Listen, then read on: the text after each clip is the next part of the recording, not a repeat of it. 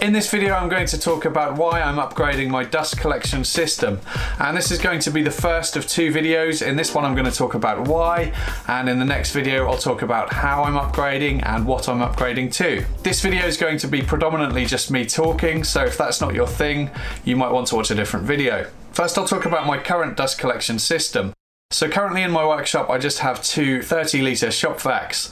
One of them is hooked up to my table saw all of the time and the second one I use on multiple machines just by moving the hose around and I use that for the miter saw, the benchtop belt and disc sander, and also occasionally the bandsaw. I tend to only use dust collection on the bandsaw if I'm using it for a long period of time.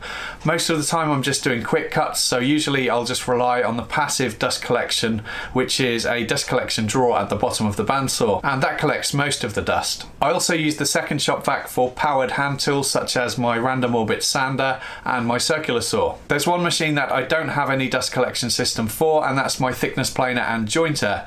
And the reason for that is because it creates such a high volume of chips that really it requires one of the large 100 millimeter diameter hoses. And the 30 litre shop vacs wouldn't be ideal for that either because they would just be filling up too quickly. So at the moment when I use the thicknesser or jointer, I basically just wear a respirator and sweep up afterwards. There are a few issues with my current setup that I want to address with my new system.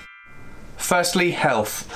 While shop vacs like the ones that I'm using at the moment offer a pretty good solution for collecting most of the dust particles produced by machines, unfortunately they aren't very reliable at dealing with the smallest micron particles of dust that are the most harmful to your lungs. The most harmful dust particles tend to be created by things such as sanding and cutting woods like MDF. The reason for this, and by the way this was a complete surprise to me and something that I only found out having researched some new dust collection systems, is that unless your extractor has a HEPA cartridge or filter bag fitted, once it collects all of the dust, some of the smallest particles of dust then get exhausted out back into the workspace environment. And when you move around your workspace and disturb that dust, obviously it gets airborne again and could end up in your lungs. If you're wearing a respirator or mask all of the time you're in the workshop, then that probably isn't too much of an issue.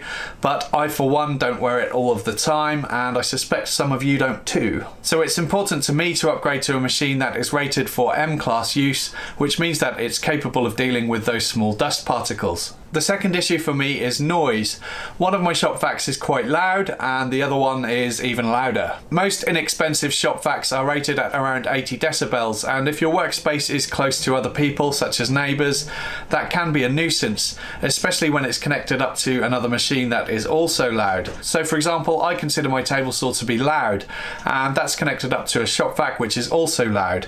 Not necessarily a problem for me because I'm wearing ear protection but for my neighbours I can imagine it's probably a bit annoying. You can buy dust extractors that operate at a lower noise level. I've seen some as low as 65 decibels. You can also try to contain some of that noise within the space by using sound insulation and that's why I've recently added some Rockwool sound insulation to the extension on my shed which is where my new dust collection system is going to be located space. My workshop is quite small, so having two shop vacs in here taking up space isn't ideal. And my plan for the future is that I just want one extractor to be connected up to all of my machines in the workshop. So if I can get rid of my two shop vacs in exchange for a dust extractor that's accommodated outside in my shed extension, that's a lot of extra space that's freed up which I can use for storage of other things. The fourth issue for me currently is having to deal with the dust particles once they've been collected. For a long while now I've wanted a cyclone system but I just haven't been able to figure out how I can get one within the small space that I have available. But now the shed extension is built I should have space for a new cyclone system and it's going to be a homemade one. That means I shouldn't have to deal with cleaning vacuum filters anywhere near as often as I do currently. And less time cleaning filters and emptying dustbins is more time in the workshop.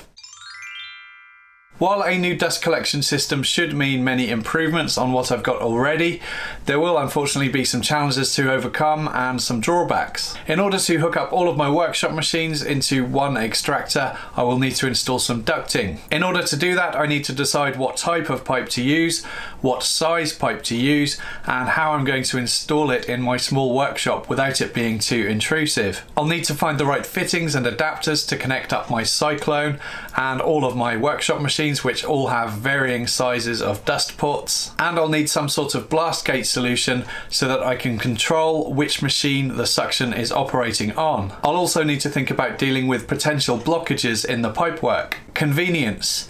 Even though my current setup of using two shop vacs is very basic, it's actually really convenient because each of the vacuums has an automatic startup feature, which means they both have power sockets on top that you can plug your power tool into, and when you start up that power tool, the vacuum automatically turns on and extracts dust from that machine. My new system will not have that functionality, so that means I need to get used to turning my dust extractor on and off after using a machine. And if that wasn't enough, I also need to get used to opening and closing the blast gates to each machine before turning on the dust extractor and then using the machine. All of that is probably going to be really difficult for me to get used to, bearing in mind that I've been using this current setup for about three years now, but hopefully that's something that I will overcome and maybe I can prove that you can teach an old dog new tricks. Suction.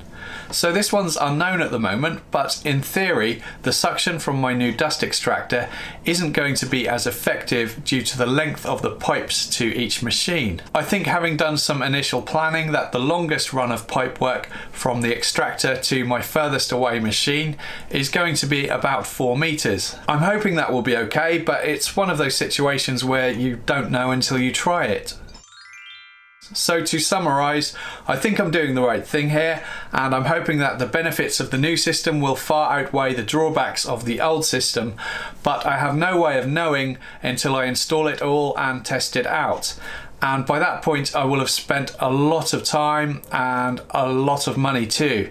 So it's going to be interesting. Check out the next video where I will cover what I'm upgrading to and how I did the upgrade.